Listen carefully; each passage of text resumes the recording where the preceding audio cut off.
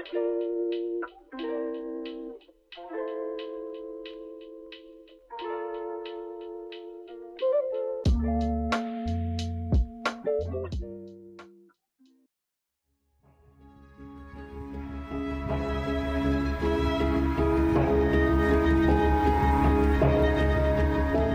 Philby, hero of the working class.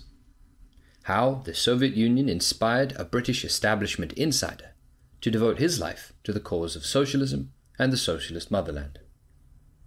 By Ella Rule, the 4th of May 2022. Kim Philby is a famous traitor to British imperialism. He spent the best years of his life working in the interests of the Union of Soviet Socialist Republics against those who sought to undermine it and finish it off, mainly Nazi Germany and British imperialism. His most important work took place during the Second World War and its aftermath, the main thrust of his work being not only to defeat the Germans, but also to prevent the British from reaching an accommodation with Germany in order to unite for the purpose of bringing down the Soviet Union. Early years Kim Philby was born in Ambala, Punjab, India, on the 1st of January 1912, where his father was employed in the Indian civil service.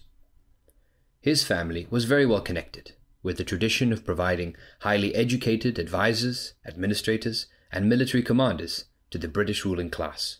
His mother, for example, was related to Field Marshal Montgomery. Arriving in England at the age of seven, Kim was soon embarked on being prepared for his projected role as a member of the Mandarin class, attending Westminster Public School and subsequently Cambridge University. A number of factors would have contributed, however, to his decision, while at university, to become an anti imperialist warrior. On the one hand, he had spent his very early years in India, looked after by Indians, playing with Indian children and speaking Punjabi being in fact, for the most part in every way, an Indian, apart from his white skin. Indeed, Kim is not the name with which he was christened, but was accorded to him because of his similarity to Rudyard Kipling's Kim, also a white skinned child who was indistinguishable from the Indians among whom he lived. Secondly, his father, although employed to uphold the Raj, had nothing but contempt for most of its representatives in India which could have disposed the young Kim to transfer that contempt to the Raj, to British imperialism itself. Thirdly, he went up to Cambridge in 1930, at a time when the imperialist world was in economic crisis, reeling from the great financial crash of 1929. Millions had become unemployed and were going hungry in Britain's land of plenty, while the Soviet Union, following the Great October Socialist Revolution, completely avoided the destructive effects of the capitalist world's economic crisis and was building itself up step by step, improving the lives of its citizens, whilst those in the Western countries were being plunged into dire need. Cambridge. In these circumstances, the bright young people who went to Cambridge University, many of them destined to become future leaders of Britain, could not but turn their minds not only to the question of how they would be able to prevent economic crisis from happening, but also to how it was that the Soviet Union had been able to escape it. Although most of British society was subjected to blanket anti communist propaganda, the privileged, gilded youth who attended Oxford and Cambridge were free to study Marxism, the idea being that they had to know it well in order to combat it effectively. Thus, at Cambridge, not only did quite a few students interest themselves in Marxism, but there were even genuine Marxist professors, such as the communist Maurice Dobb, available to instruct. Kim, who was studying economics, attended his lectures and was inspired by them.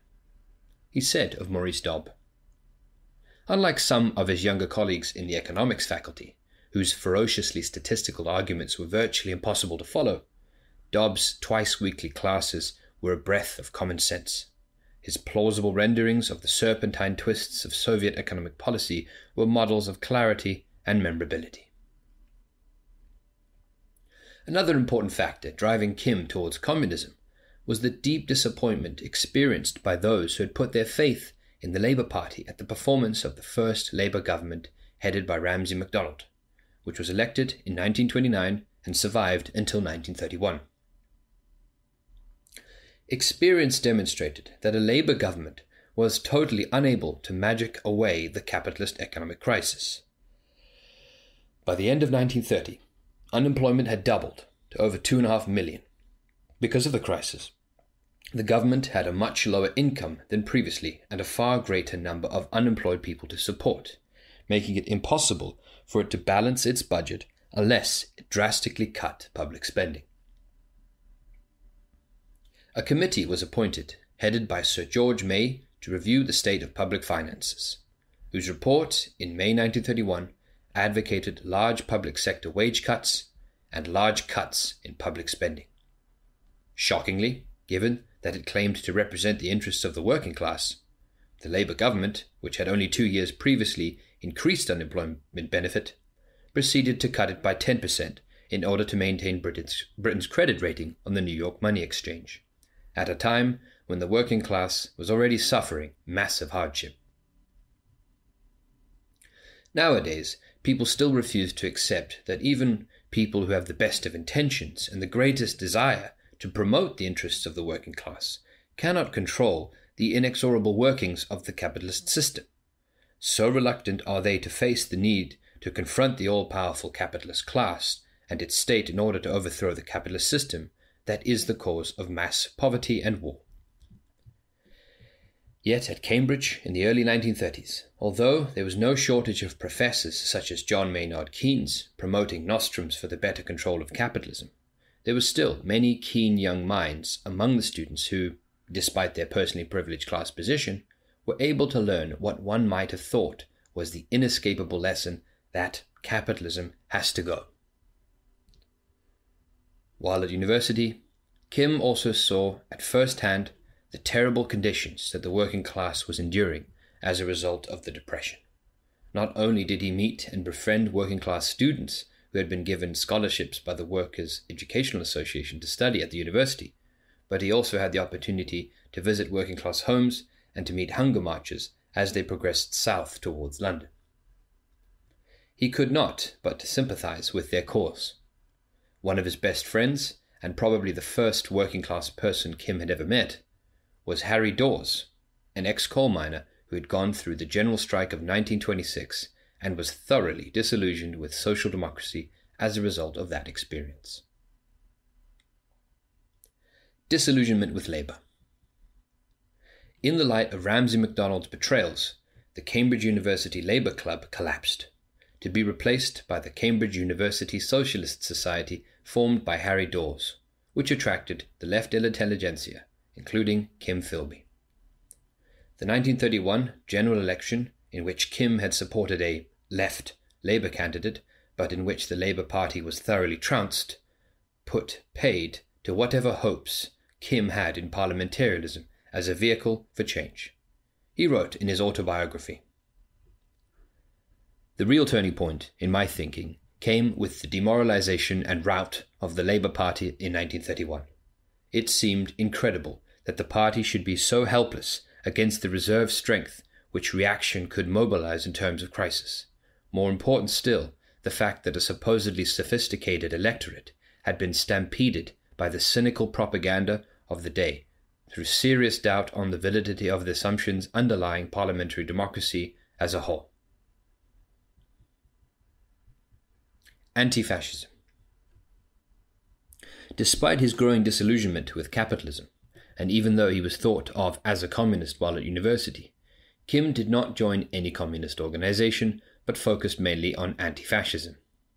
In that context, he took a trip to Germany before his finals in June, where he witnessed, at first hand, the rise of Hitlerite fascism. It is probable that this experience cemented his support for communism, as he was able to see how left wing social democracy was complicit in helping the fascists to come to power. After graduating from Cambridge in 1933 with a 2 1 degree in economics, hardly anybody was given a first class degree in that subject in those days, he set off to Europe with a list of contacts supplied by Maurice Dobb. After a stint in Paris, Kim went on to Vienna through arrangement with Austrian Relief Fund for Victims of German Fascism, a communist led organization, which arranged his accommodation with Israel Coleman, whose divorced daughter Alice Friedman, and a tremendous, tremendous little sexpot, was to become his wife. Her former husband was a member of the Zionist Socialist movement. She was a member of the Austrian Communist Underground. Under the aegis of its social democratic political direction, Vienna had introduced popular welfare and education programs, demolished slums, and rehoused 200,000 people in social housing. However, the loss of the Austrian Empire in the First World War meant that social democratic demands could not be fulfilled and there was considerable unrest, with both the left and the right having private armies. The socialist Schutzbund and the fascistic Heimwehr. Moreover, Austria's social democracy did not extend outside Vienna and was very dependent on its support from the German left. When Hitler decimated that, Austrian social democracy became very vulnerable. In 1932, Engelbert Dollfuss was elected Chancellor with a parliamentary majority of one, and he proceeded to go on the attacks against Red Vienna, illegalizing social democratic parties and institutions. The Schutzbund was proscribed, and many of its leaders were arrested and or killed. State forces occupied the offices of socialist officials and dismissed them, subjected the trade unions to, state, to state control, and established a one party corporate state. The Heimwehr stormed the socialist heartlands of Vienna, i.e., its housing estates, and Kim got involved in smuggling socialists and communists to safety. Having seen the failure of left social democracy to organize any effective resistance, Kim became ever more convinced that only the communists could effectively resist fascism. In February 1934, Kim married Litzi, mainly to protect her by giving her British nationality. Predictably, the Philby family were far more th- were far from thrilled with Kim's marriage. They didn't like the fact that she was Jewish, that she was a communist, that she was a divorcee, or that she was a Zionist. Kim's father, a renowned Arabist, had always opposed the Zionist movement. The newlyweds remained in Vienna, working with the communist underground, and Kim led the guerrilla Kirov Brigade, acting as a courier between cities. However, by the beginning of May, they realized they would need to escape from Vienna, which was becoming far too dangerous for them, and shortly afterwards, they came to London. Recruitment by the Soviets. As it turned out, Kim had come to the attention of the Soviet Secret Service as a possible recruit, and shortly after his return to Britain, he was approached by a Mrs. Tudor Hart, an Austrian Jew married to a British communist, who put him in touch with a Soviet agent he knew as Otto, but whose real name was Arnold Deutsch, a Reichian psychologist and sex therapist. It was Otto who set Kim on his first steps as a Soviet agent, creating a persona for him that would maximize his ability to use his position and contacts in the way most helpful to the cause of the world proletariat. Deutsch instructed Kim to break off all communist contacts and establish himself as a conventional member of the class he was born into so that he could rise to the important positions in the bourgeois state that his class background facilitated despite his previous association with communism. He supplied Kim with a new Minox sub-miniature camera, uh, sub-miniature camera and gave him the code name Söhnchen.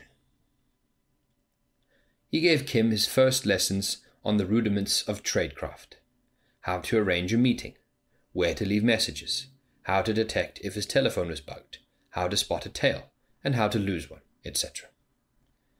This strategy was devised after Kim was forced to withdraw from plans to apply for employment to the Foreign Office, a career that had for a long time been envisaged for him. His prospective referees from Cambridge University told him that they would be unable to vouch for him because of his known communist sympathies. That being the case, he needed to find some other way to get himself accepted into the higher echelons. So it was that from mid 1935, Kim started to distance himself from his left wing friends.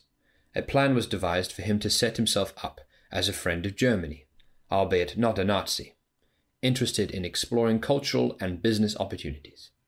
He was specifically told not to be too enthusiastic about the Nazis, partly because it was too great a departure from his previous character, and partly because he was told the Nazis would be defeated in the war, and it was important he shouldn't be compromised by excessive enthusiasm for their cause. He also had to distance himself from his communist wife. Early employment. His first job, obtained with some difficulty at a time of high unemployment and with his reputation as a red bedeviling him, was editorship of Review of Reviews, to which he was appointed in late 1934. He had to write quite a few articles for it himself, including an obituary for Lawrence of Arabia, strongly influenced by his father's non father's non too flattering views of the man he had worked with in Mesopotamia during the First World War.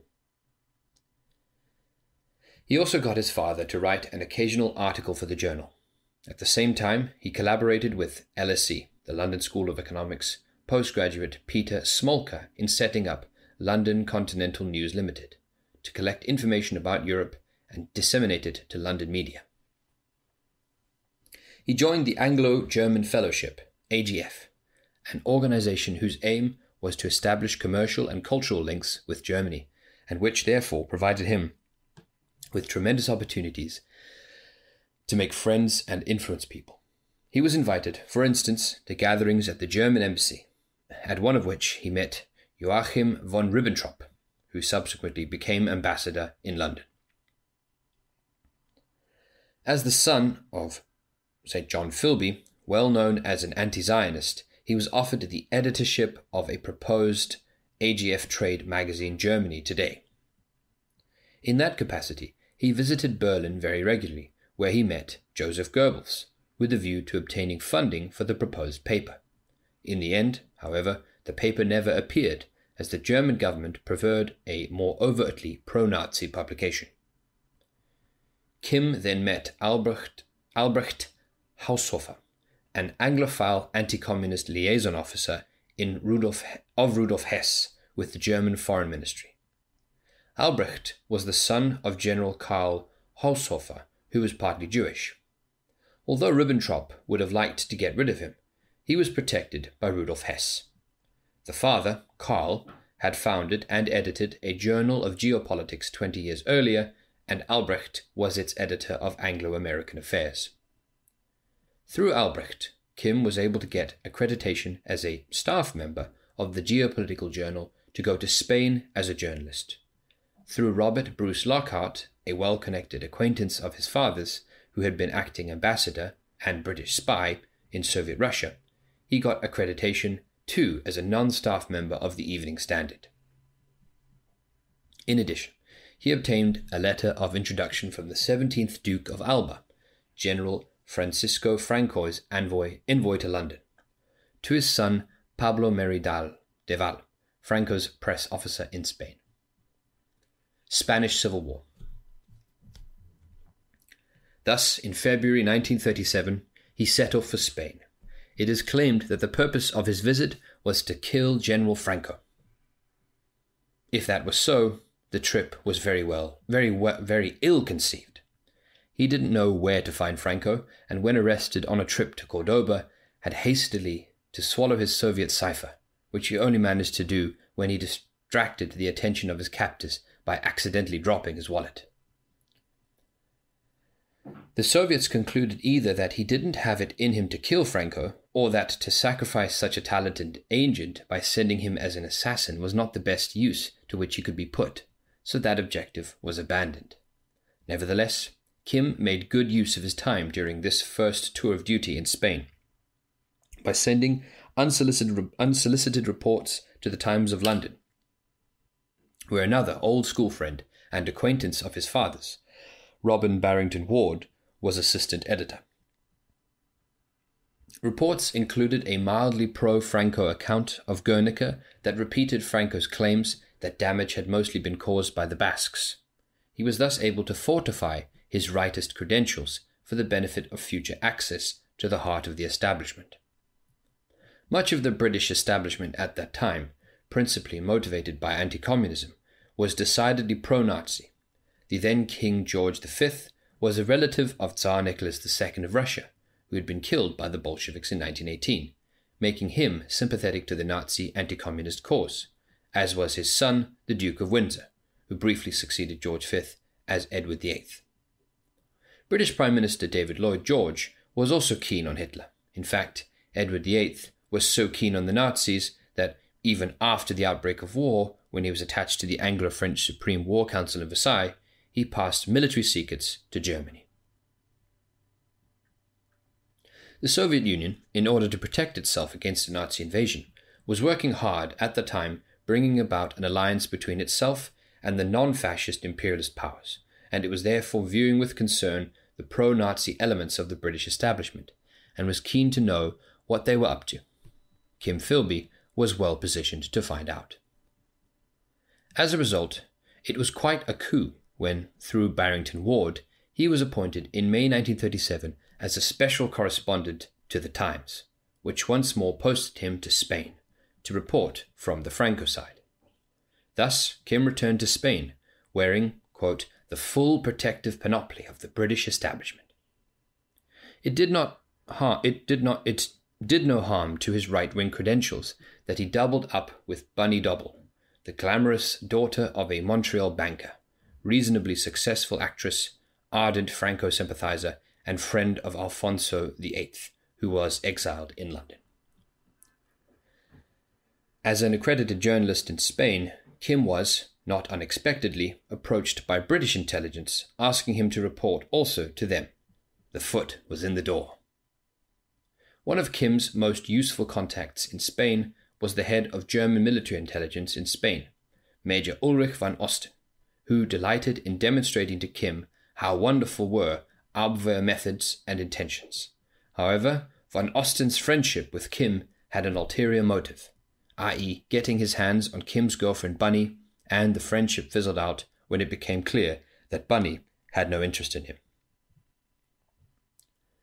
Kim was also able to access information about Trotskyite saboteurs and to ensure their exposure at the latter end of the war. On the 31st of December, a car in which Kim and three other British journalists were traveling was hit by Soviet explosive device near Teruel. Three of them were killed, but Kim survived with only light wounds. As a result of this misadventure, he was actually awarded a medal, which was presented by Franco himself. Kim commented My wounding in Spain helped my work, both journalism and intelligence work, no end. Before then, there had been a lot of criticism of British journalists from Franco officers who seemed to think that the British in general must be a lot of communists because so many were fighting with the International Brigade.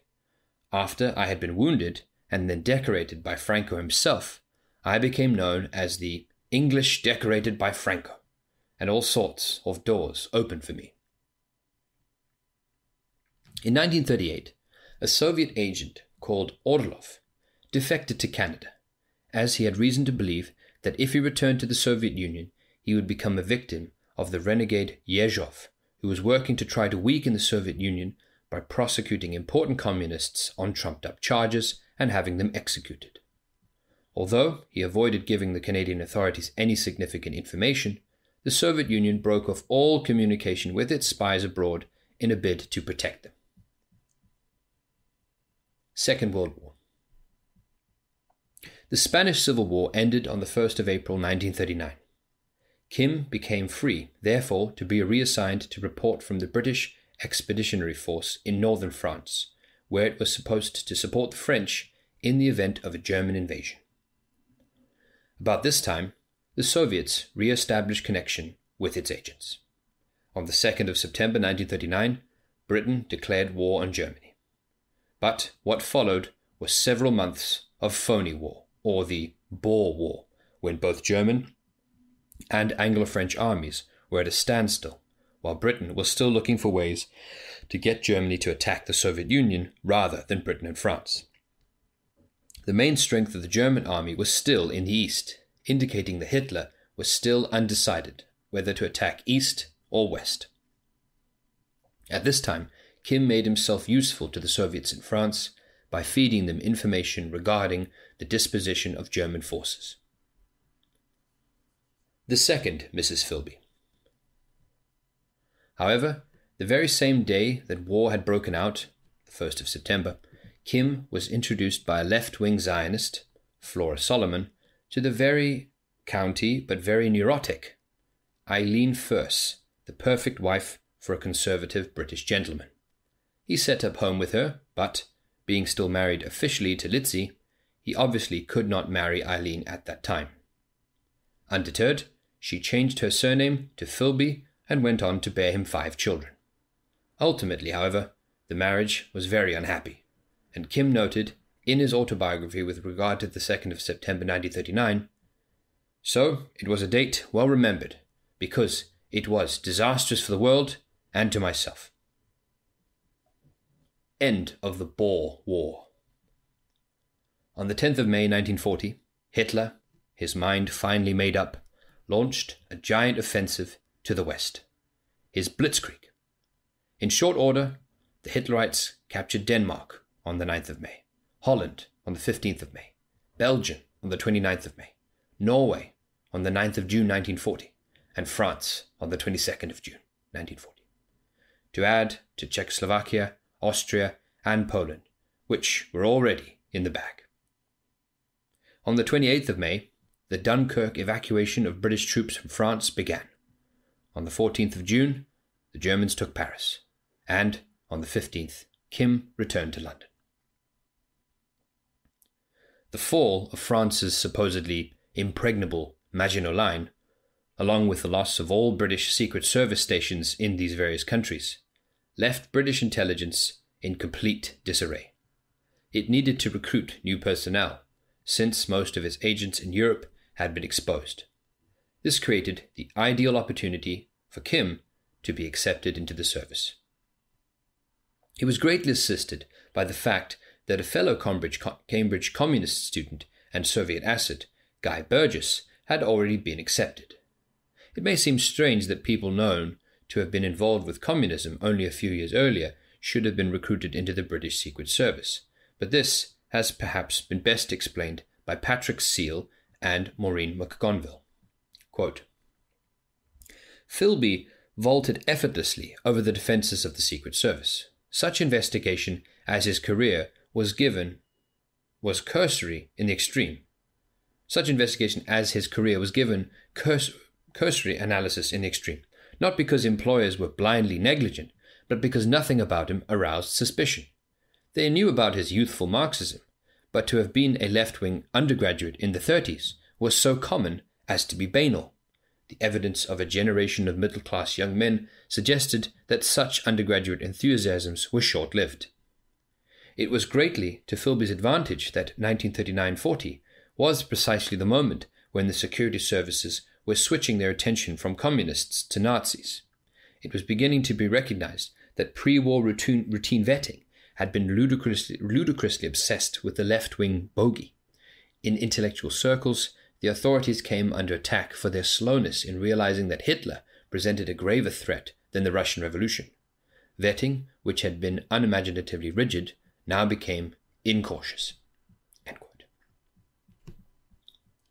In any event, in August 1940, Kim was accepted into Section D of the Secret Intelligence Services, MI6 whose special function was to create, arm, train, and lead the resistance movement in Europe. His first task was to work with Guy Burgess to create a syllabus for saboteurs that would be taught to appropriate personnel at Brickendonbury Manor near Hertford. Of course, Kim at this stage had no special expertise in the subject, but he struck on the idea of picking the brains of a person who had been at school with at Westminster and was now working for an advertising agency devising strategies for selling people things they didn't much want. Kim is quoted by Anthony Cave Brown as saying, I have found that advertising people can be relied on for two things. First, they will tell you on no account to go into advertising. Second, they will expatiate at length on the dirtier tricks of their profession. Drawing on the advertiser's expertise, Kim went on in due course to develop techniques of disinformation designed to undermine enemy morale. For example, the subversive rumor that VD infected girls were being used to make German soldiers ill, techniques used today with gay abandoned by the imperialist warmongers of the world.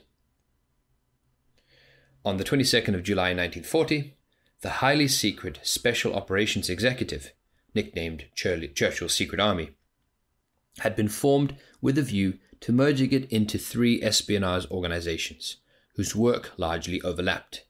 Thus, very shortly, shortly after Kim joined Section D, he found himself working for the SOE. After the merger was implemented, Guy Burgess moved to the BBC, but Kim was kept on as an instructor in underground misinformation at a school set up at the seat of Lord Montagu, Beaulieu in the Hampshire New Forest, in the, in the Hampshire New Forest, where he started out as a lecturer on the 19th of October. At Beaulieu, Kim's part of the syllabus involved teaching what he knew about the setup of various German agencies.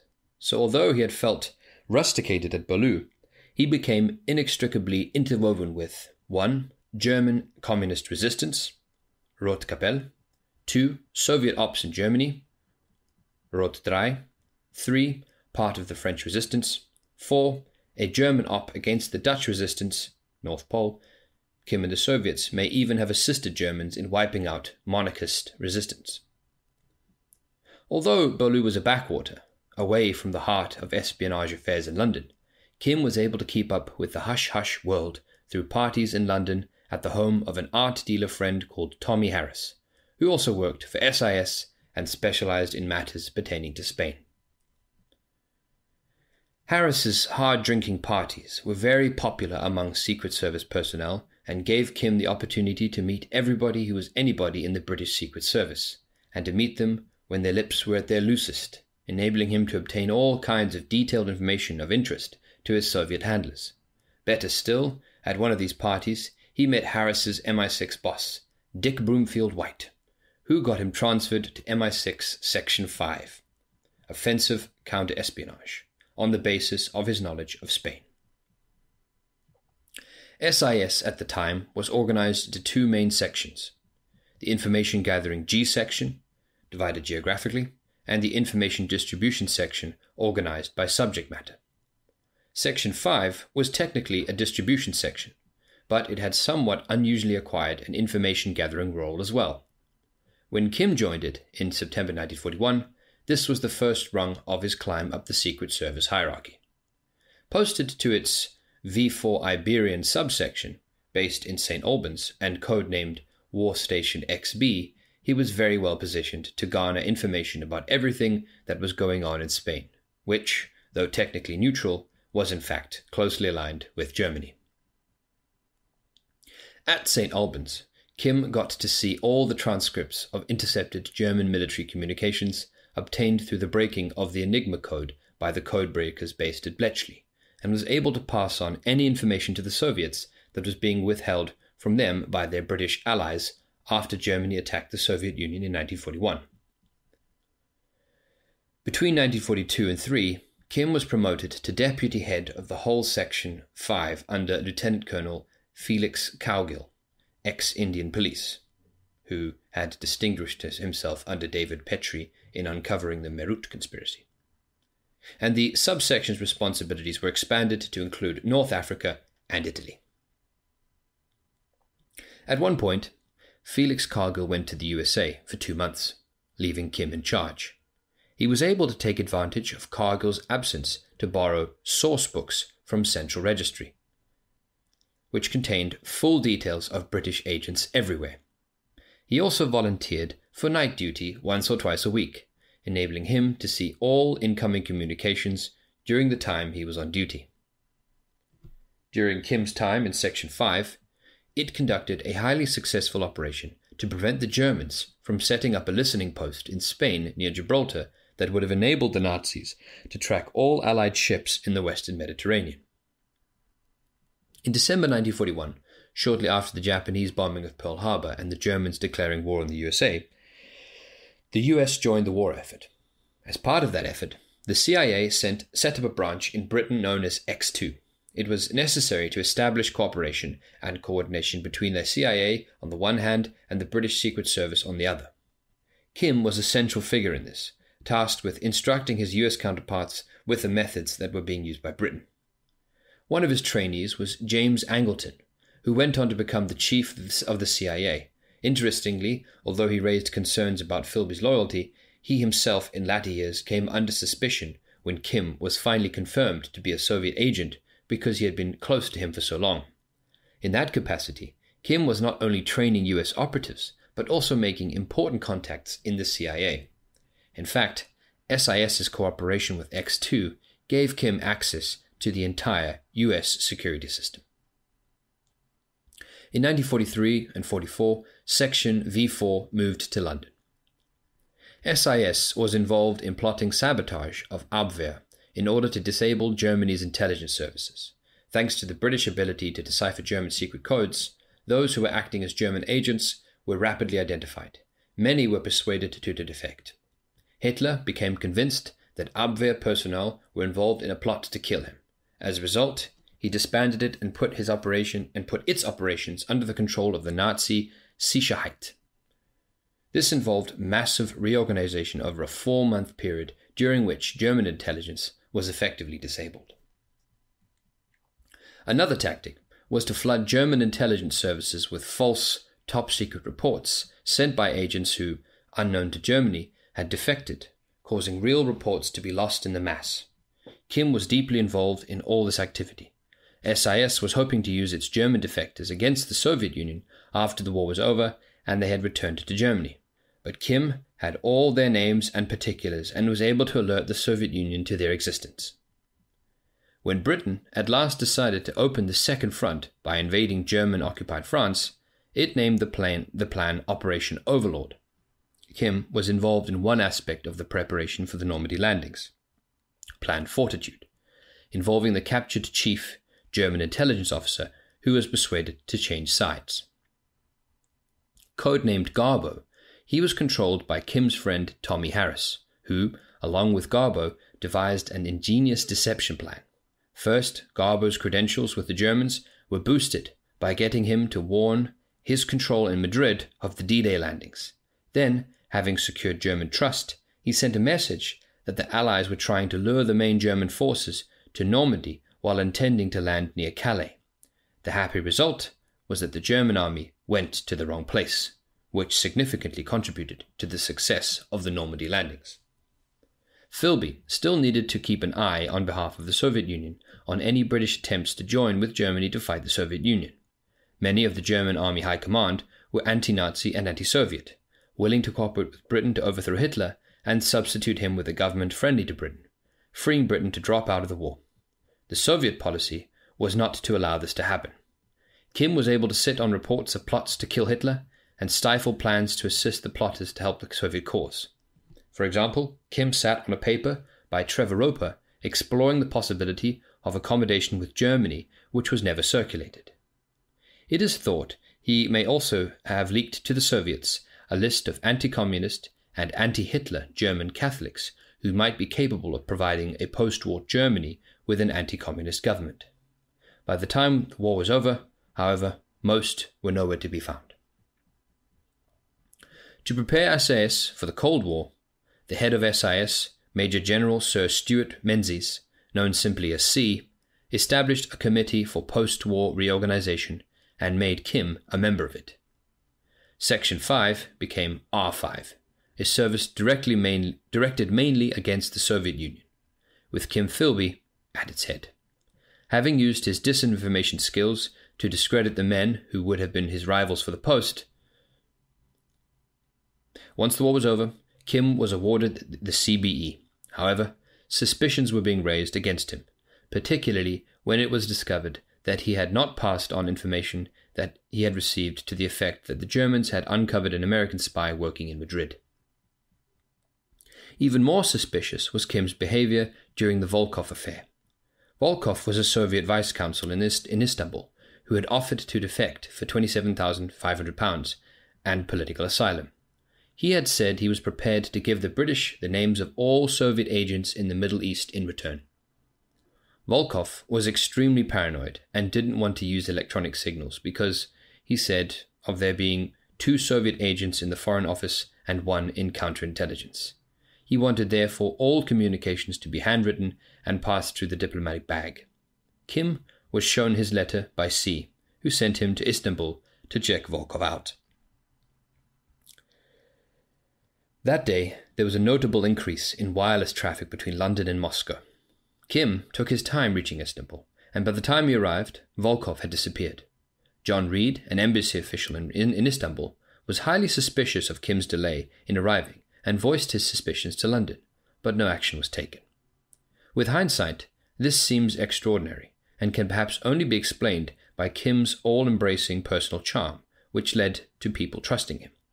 Sir Robert Mackenzie, Mackenzie, a foreign officer security expert, said of him in an interview with Philip Nightingale, Knightley.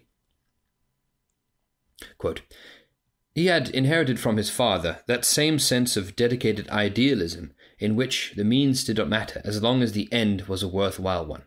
Although he had a facade on other matters, this sense of dedication and purpose to whatever he was doing gleamed through and inspired men to follow him. He was just the sort of man who won worshippers. You didn't just like him, admire him, agree with him. You worshipped him.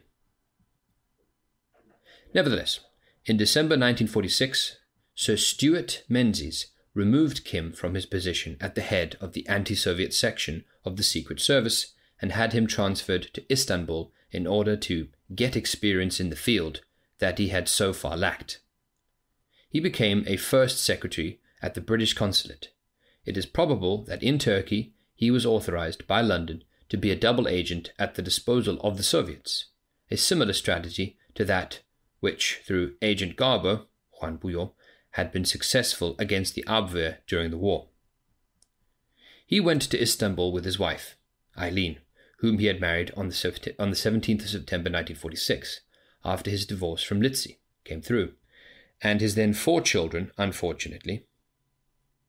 unfortunately, Eileen's mental health declined markedly during this time, and in 1949 she had to return to London for treatment. However, around this time, Kim was offered a posting in Washington, which he accepted, and his wife and family joined him there. He was apparently offered the posting on the recommendation of James Angleton, though Angleton had previously doubted his loyalty. With the benefit of hindsight, it is possible to surmise that he may have been brought to Washington in the belief that he was in fact a Soviet agent. The USA, having apparently learnt from the Israeli secret services that Burgess, Maclean, and Philby were Soviet spies, and that he could therefore be used innocently to pass information to the Soviets. One of the elements of misinformation that he may have been used to pass to the Soviets was an exaggeration of US military strength so that the Soviets would see no option but to submit to nuclear blackmail. Nevertheless, his position as first secretary in the British Embassy in Washington and chief liaison officer with the CIA, the FBI, the NSA, and the Royal Canadian Mounted Police would give him access to certain types of prime ministerial correspondence with President Harry Truman, and he would receive deciphered messages from the Soviet authorities to their US representatives. Kim would have been able to warn the Soviets that some of their messages had been decrypted. For instance, that the USA had discovered they had obtained US atomic research results that forewarned them of the Soviet ability to make a nuclear bomb and the fact that 49 Soviet agents had been identified with all that this implied. In May 1950, Kim visited London to consult with the Foreign Office Russia Committee. The function of the committee was to promote civil discontent, internal confusion, and possible strife in the satellite countries, especially Albania, Latvia, and Ukraine. The policy of the USA in Britain was to train anti communist dissidents, many of them war criminals, to return them to Ukraine and or Poland to assist the anti communist resistance. Thanks to the work of Kim and others, the communist governments were alerted, and most attempts to infiltrate agents were frustrated. On October 1950, in October 1950, US attempts to land agents in Albania failed. This followed several similar misadventures in Latvia, Estonia, Belarusia, and Ukraine. Only four people had advanced knowledge of all these intended operations. One of them was Kim Philby, who wrote of the Albanian debacle The agents we sent into Albania were armed men intent on sabotage, murder, and assassination. They were quite as ready as I was to contemplate bloodshed in the service of a political ideal. They knew the risks they were running. I was serving the interests of the Soviet Union, and these interests demanded that these men were defeated, to the extent that I helped defeat them, even if it caused their deaths. I have no regrets.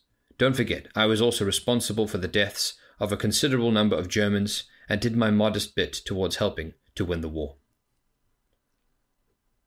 Agents who survived, war criminals or not, spent the rest of their lives comfortably in the USA. In 1950, the Korean War had started, and Kim is thought to have had a hand in passing information to the Soviet Union about that. 2. Certainly, General MacArthur, the, gen- the general in charge of the US side of the war, later claimed that Philby, Maclean, and Burgess had betrayed the plans and order of battle of the US 8th Army in Korea, as a result of which 30,000 men had been killed, wounded, or captured. In 1950, Guy Burgess was also posted to Washington, he was notoriously unreliable, and, though Eileen hated the sight of him, Philby thought it would be best if he was accommodated at their home where Kim could keep an eye on him and perhaps restrain his worst excesses. In April 1951, Maclean was identified as a Soviet spy as a result of decrypts through Bletchley of Russian wartime correspondence. Maclean had gone somewhat off the rails at that time and had been moved from Washington to Cairo, where he had in May 1950, had a nervous breakdown. He had therefore been sent back to London to be treated for alcoholism and his nervous condition. By November 5, 1950, he was declared fit for work and was made head of the American Department of the Foreign Office. However, Kim, having learnt of his identification as a Soviet spy, had already drawn up plans to get him out. These involved Burgess doing something so outrageous that he would immediately be sent back to London and once in London, would he contact Maclean and help him disappear? The plan was to put into operation, and Burgess was duly returned to London with immediate effect. Maclean had been due to appear for interrogation on Monday, 28th of May. However, on the 25th of May, Maclean and Burgess boarded a cross channel steamer at Southampton and disappeared.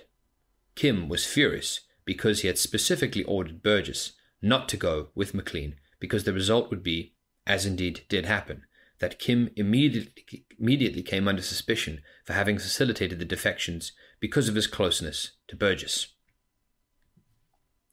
On the 11th of June 1951, Kim was recalled to, London, but despite being despite deep suspicions, there was no actual evidence on which he could be prosecuted. However, his career in the Secret Service was definitely over, and in August he resigned with a lump sum payment of £4,000 in lieu of a pension. Still, inquiries and interrogations carried on. He was asked to surrender his passport, to which he commented in his autobiography I readily agreed, as my escape plan certainly did not envisage the use of my own identity papers. Meanwhile, Eileen was denouncing him to the Foreign Office as the third man, but she was too she was deemed too unstable mentally to be considered a reliable witness.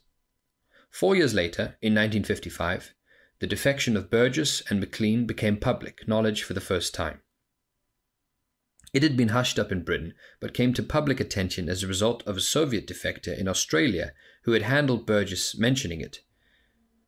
And now the story was splashed in the pe- to the people. and now the story was splashed in The People.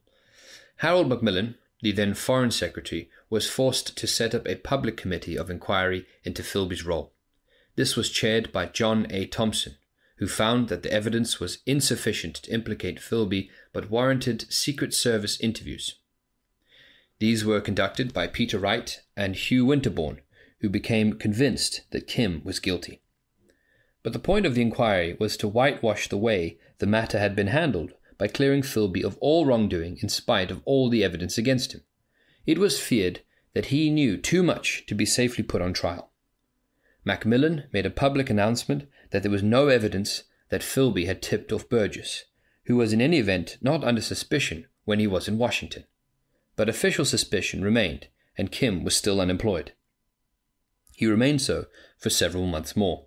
But finally, in July 1956, he secured a low grade espionage assignment in Lebanon as correspondent for The Observer and The Economist. However, even in his lowly assignment, Kim got rather lucky. Quite apart from the fact that his father was then living in Beirut and was both able and willing to introduce his son to everybody who was anybody who happened to be in town. The CIA had sent Wilbur Eveland to Beirut as agent for Allen Dulles, the director of the CIA. Eveland was there between 1956 and 1960. He became friendly with Kim, whom he hoped to use as an informant because he was extremely well versed in Arab affairs, particularly in view of the fact that his father was a renowned Arabist. Subjected to the full blaze of Kim's charm, however, Wilbur Eveland, Wilbur Eveland became the soul of indiscretion, happy to share with Kim everything he knew, which was a lot, about U.S. operations in the Middle East. This was the time of the Eisenhower Doctrine, which provided $200 million in military and economic assistance to the Middle East to repel communism. Eveland's main task, apart from being the CIA paymaster, was to support President Camille Chamoun, the only pro US leader in the region. The result was that no CIA operation succeeded during the Eveland period. These included a disastrous US military intervention in 1958 to support Chamoun in an unconstitutional bid for a second presidential term. Of course, Kim's posting in Lebanon coincided with the attempts of President Gamal Abdel Nasser in Egypt to take over control of the Suez Canal from French and British imperialism. These, in view of the threat that Nasser presented to their interests, devised a plot to kill President Nasser. The plot was led by one John Farmer, another good friend, friend of Kim's. Nasser was to be killed with an electric razor doctored with plastic explosive which Farmer supplied to Egyptian rebels, along with £166,000 in Egyptian money and $500,000. However, the rebel, to whom the razor and the money had been entrusted, one Khalil, was not a dissident and told Nasser about the plot. A French, British, Israeli military operation to retake the Suez Canal, which had been nationalized by Nasser, failed when the US Sixth Fleet disrupted their landing and air operations the French and British influence over the region collapsed, and the USA took over. Suspicion that Kim could have been involved in this was reignited, although it is much more likely that it was CIA operative Kermit Roosevelt Jr., grandson of US President Theodore Roosevelt, who had maneuvered to facilitate the defeat of the imperialist military operation, with a view to establishing US hegemony in the area in the place of Europeans. So, whether Kim had been involved or not, there were renewed efforts from London to establish that he was, in fact, a Soviet spy. In September 1956, Kim met Eleanor Brewer, the wife of the New York Times correspondent in Beirut, Sam Brewer, who by then was only staying with her for the sake of their daughter. Eleanor and Kim fell stupidly in love and became lovers, but could not, of course, marry at that time because Kim was married to Eileen, even though her poor mental health meant she had to remain in London and Eleanor was married to Sam. However, on the 15th of December 1957, Eileen died. She was only 47. When Kim and Eleanor told Sam they wanted to marry, he commented, I hope I am not in the way. He then turned to the bar and bought everyone a drink. The couple were finally married in London in, on the 24th of January 1959. In the meantime, however, the efforts to expose Kim as an agent continued. The CIA sent people to Beirut to befriend him with a view to catching him out. These included Miles Copeland, who had been trained by Kim in England during the war. None of the people sent had much success, but pressure was mounting. There was also a nuisance. There was also a nuisance calls campaign intended to, to demoralize Kim. From the British side, Hugh Trevor Roper arrived in Beirut with the same purpose in mind, all to no avail. However, things were about to hot up. In August 1962, Lord Victor Rothschild, on a visit to Israel, happened to meet Flora Solomon, the woman who had first introduced Kim to Eileen.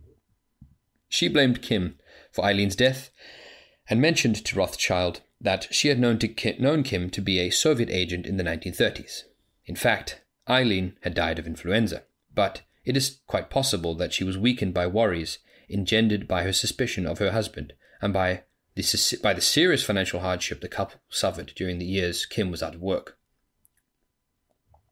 This information brought by Lord Rothschild may have sealed Kim's fate. If Rothschild went on to repeat it generally after returning to England, it also emerged that there were people around such as Hugh Gaitskell and Teddy Kollek, who became the mayor of Jerusalem, who had known Kim in Austria when he was clearly a communist sympathizer. Whatever the means by which they were convinced, the British authorities decided Kim's guilt was now firmly established. Many think, however, that they were still averse to putting Kim on trial, but decided to pile on the pressure in order to cause him to defect. Whether that is true or not, for the moment there is no incontrovertible evidence either way. Kim's longtime friend and supporter, Nicholas Elliott, himself a British agent, arrived in Beirut on the 10th of January 1963. Kim had evidently been warned of the purpose of his visit, as Kim greeted him with the words, I rather thought it would be you. In the interviews with Elliot that then took place, Kim confessed only to having spied for the Communist International before the war. He was offered immunity, but only on condition that he named names. On the 23rd of January 1963, he was due to attend a dinner at the British Embassy with his wife Eleanor. He let her know he let her know he had been delayed and told her he would meet her ne- and told her he would meet her there, but he never appeared. The next time he was heard of, he was in Moscow, where he remained until his death in 1988. His wife Eleanor visited him there, but eventually returned to America and divorced him. After an affair with Maclean's wife, he eventually married a Russian, Rufina, with whom he was very happy. He summed up his life as follows I don't believe anything I did harmed my own Britain at all. In fact, I think my work for the KGB served the bulk of the British people. So, you do it all again? Absolutely.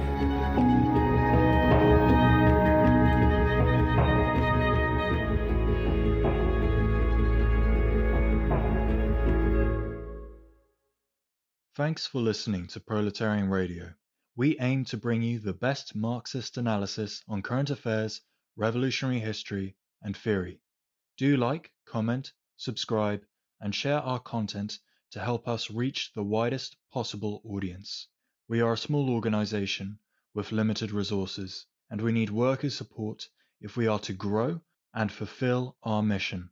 If you are able to make a one off or regular donation, no matter how small, please visit our website at thecommunists.org and register as a supporter.